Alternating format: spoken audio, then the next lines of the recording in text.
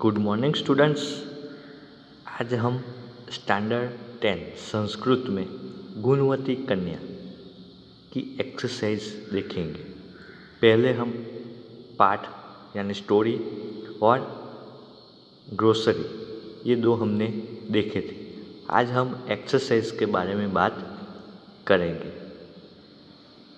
तो प्रश्न एक है, अधोलिखितेभ्य, विकल विकलेभ्य समुचितम उत्तरम चुनोत। फ़र्स्ट है।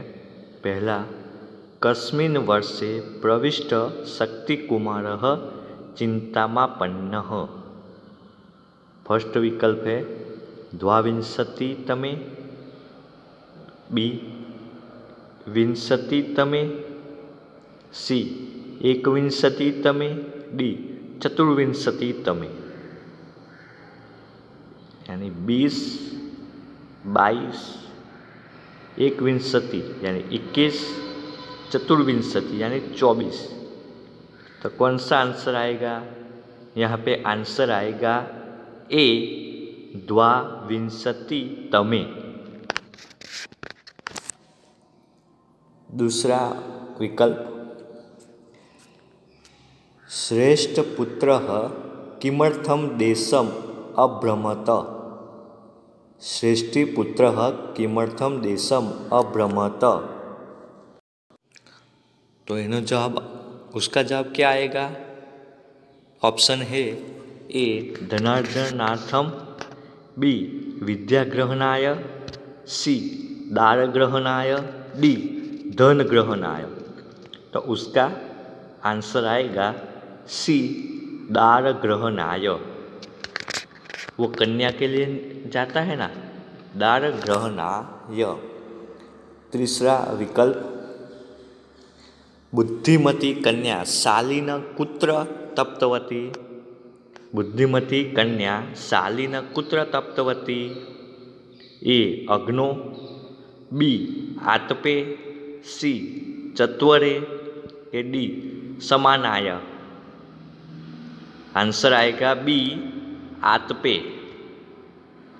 चौथा विकल्प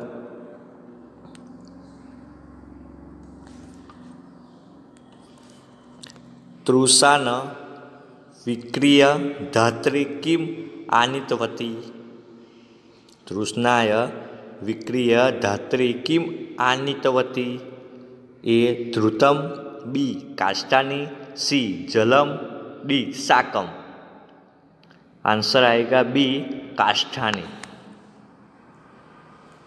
पांचवा विकल्प, कन्या धातृमुखेन अतिथि, प्रथम किम निवेदितवती? कन्या धातृमुखेन अतिथि, प्रथम किम निवेदितवती?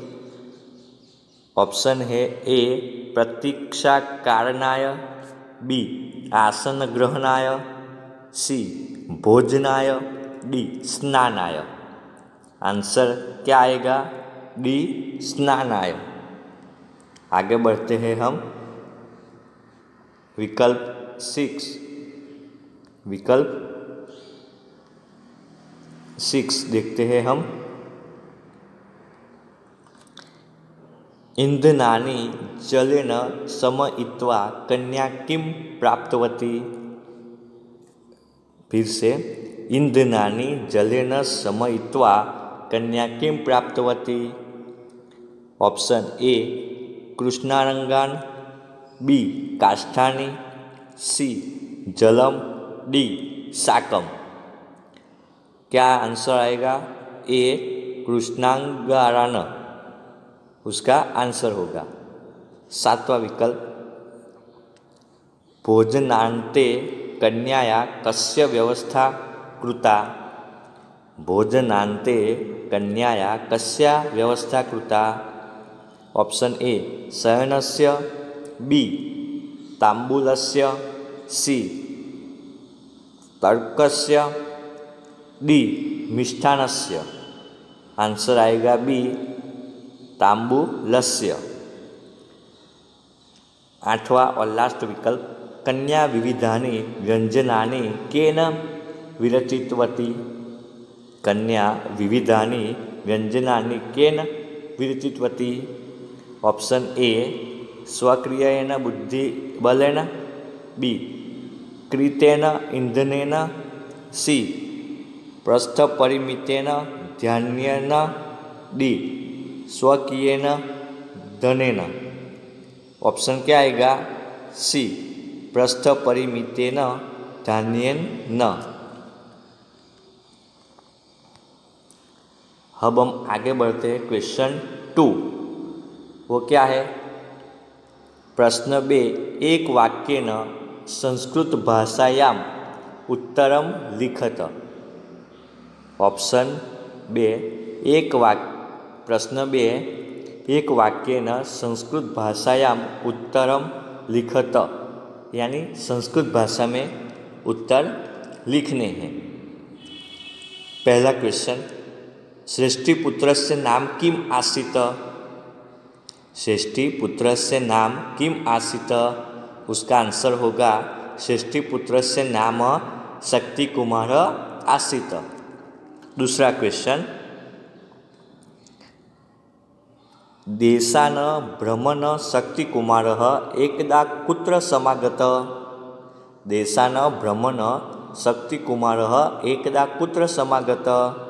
तो उसका आंसर होगा, देशान भ्रमण शक्तिकुमार एकदा कावेरी तीरपत ने समागत। ये उसका आंसर होगा। अब तीसरा क्वेश्चन देखते हैं। शक्ति कुमार विरलभूषणां कुमारी कुत्र अपश्यत। शक्ति कुमार विरलभूषणां कुमारी कुत्र अपश्यत। उसका आंसर होगा शक्ति कुमार विरलभूषणां कुमारी कुपे अपश्यत। चौथा क्वेश्चन कन्या तांडुलान केन प्रक्षालितवती? कन्या तांडुलान केन प्रक्षालतवती? आंसर होगा, कन्या तांदुलान जलेन प्रक्षालितवती। पांचवा क्वेश्चन पूज्यादिना पदार्थानां वर्णनं कृत्वा कन्या किं कृतवती? भोज्यादीनां पदार्थानां वर्णनं कृत्वा कन्या किं कृतवती? आंसर होगा भोज्यादीनां पदार्थानां वर्णनं कृत्वा कन्या अतिथेय भोजरुचिनम वृद्धिवती ये उसका आंसर होगा अब हम आगे बढ़ते हैं क्वेश्चन थ्री की तरफ़ जो है क्रुदंत आप लोग ने पढ़े ही होंगे अभ्यास किया ही होगा क्रुदंत का हम आगे बढ़ते हैं क्रुदंत की तो देखते हैं प्रविष्ट तो उसका क्या होगा? प्रविष्ट तो त यानी प्रत्ययांतम, कर्तली भृत कुदंत आएगा। आकृष्टम, यानी कर्मणि भूत कुदंत होगा। भोजे इतुम, प्रेरक हेत्वर्थक तुमतम, अव्ययम। उक्तवा, संबंधक भूतकुदंत आएगा। आदाय। संबंधक भूतकुदंतम लब्ध्वम अव्ययम। सिक्स निवेदित वती उसका क्या आएगा? तवत प्रत्ययांतम प्रेरक कर्तव्य भृत क्रुदंत ये हमने क्रुदंत के प्रकार देखे। आपने पहले अभ्यास किया होगा। तो जो कोष्टक है क्रुदंत का, वो एक बार देख लेने। तो आपको मालूम पड़ जाएगा कि कैसा कैसा उसमें क्या क्या आता है। अब संधि। संधि विच्छेदम कुरुत यानी संधि का विच्छेद करना है। पहला, प्रविष्ट तदा उसका क्या आएगा कि प्रविष्ट प्लस तदा सोचिंतयत। यानी सह प्लस अचिंतयत। तुषेभ्य स्तंदुला। उसकी संधि कैसी होगी? तो त्रुषेभ्य प्लस तंदुला आगे है व्यंजनस्य उसका क्या संधि होगी? व्यंजन प्लस च। व्यंजनम प्लस च। उसकी संधि आएगी। तो ये क्रुदन संधि, ये सब आपको याद रखनी है। क्योंकि एग्ज़ाम में ये बहुत इम्पोर्टेंट है। समास देखते हैं। समास आपको पढ़ना अभी बाकी होगा, लेकिन हम एक बार इसमें देख लेते हैं। जब आगे टाइम होगा तो हम समास के बारे में भी बात करेंगे। समास प्रकारम लिखत तार विहीना नम। उसका समास क्या है? तृतीया तत्पुरुष समास। ध्रुत सहितम, तृतीया तत्पुरुष समास। पिनध्वशाली, बहुविही समास। विरल भूषणाम, बहुविही समास। शाली प्रस्थेन, षष्ठी तत्पुरुष समास। कृष्णारंगान, यानी कर्मधारय समास। गुण संपदा षष्ठी तत्पुरुष समास स्वनगरम यानी षष्ठी तत्पुरुष समास अथवा तो कर्मधारय समास ये दो समास आ सकते हैं उसमें हम आगे बढ़ते हैं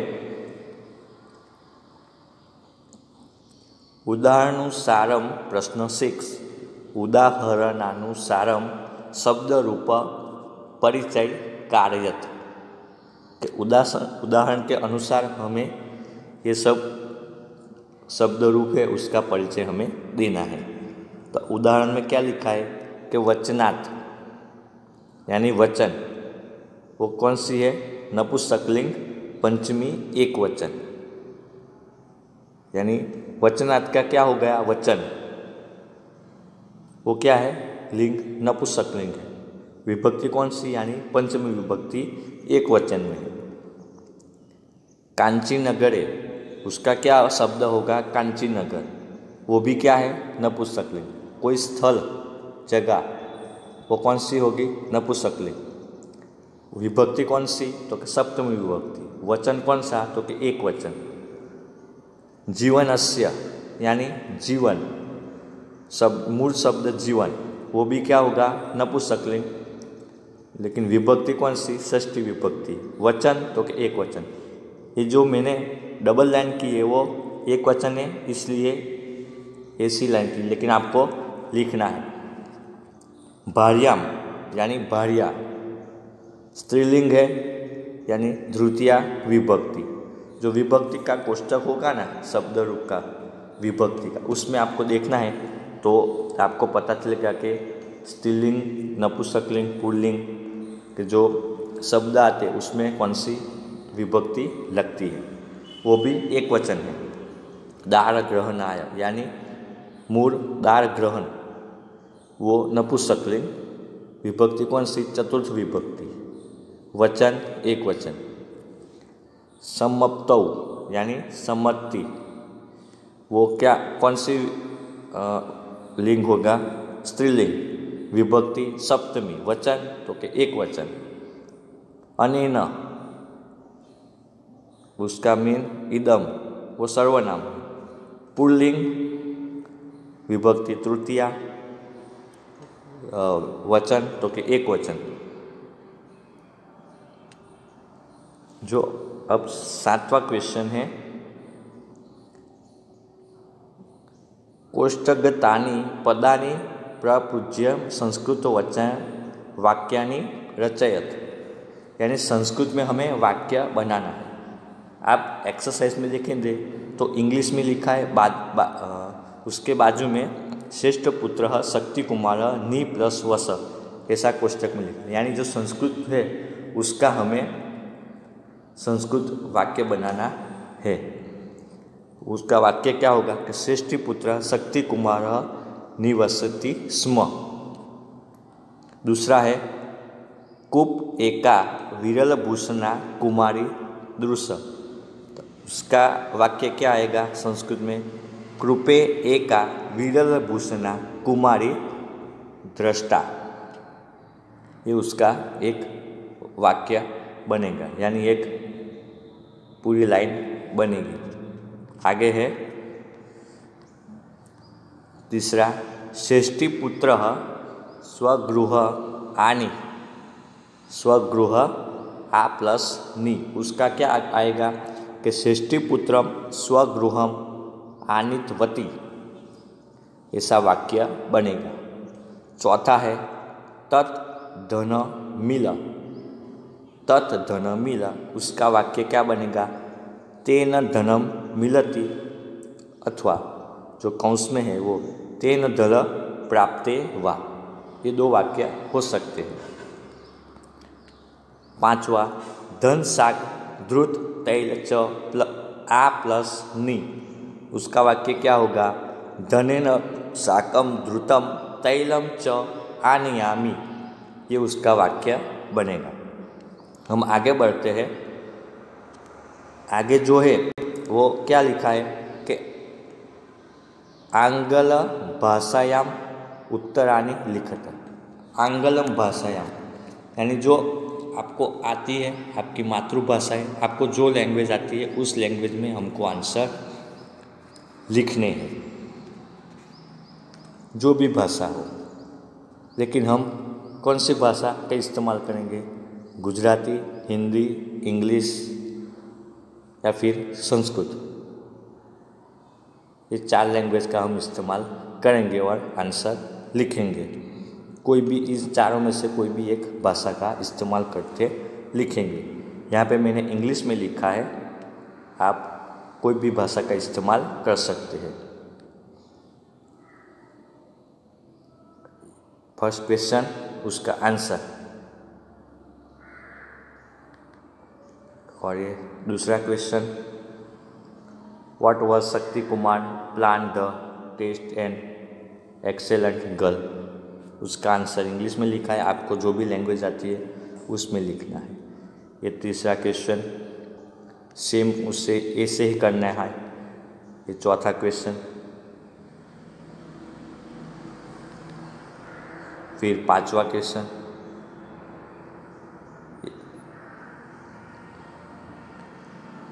फिर ये क्वेश्चन नाइन आंगलभ्य भाषायाम संक्षिप्तवा टिप्पणी लिखत। यानी आपको जिस लैंग्वेज में लिखना है, वो लैंग्वेज में क्या लिखना है? टिप्पणी। Shakti Kumar planning for test. जो वो टेस्ट लेता है ना, उसकी प्लानिंग कैसे करता है? वो सारा आंसर यहाँ पे लिखना है। फिर दूसरा है, planning of the excellent girl. जो होशियार गर्ल है, उसकी प्लानिंग कैसी है? वो एक्सीलेंट गर्ल वो टेस्ट लेने का प्लानिंग फिर वो एक्सीलेंट है, उसका प्लानिंग ये दो क्वेश्चन हुए. ये फ़र्स्ट का आंसर आपको जिस लैंग्वेज में लिखना है, वो लैंग्वेज में लिख सकते हैं.